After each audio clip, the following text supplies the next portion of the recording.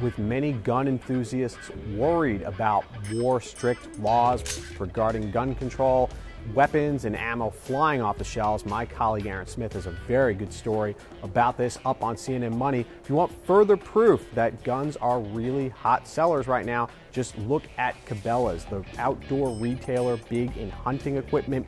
Shares surging on Tuesday after the company said that earnings for its current quarter are going to come in much better than analyst expectations. The comeback in Cabela's stock is interesting on Tuesday because shares actually fell more than 2% Monday after competitor Dick's Sporting Goods reported results that weren't that strong. Investors in Cabela's were probably overreacting though. Dick's Sporting Goods hunting equipment sales were actually very robust. The reason that that company fell short was due to inventory issues with cold weather apparel and sagging sales of Livestrong branded fitness equipment. So Cabela's definitely the retail stock to probably own if you think that gun sales and ammunition sales are going to continue to climb. That is, if you can find any ammo that's still out there.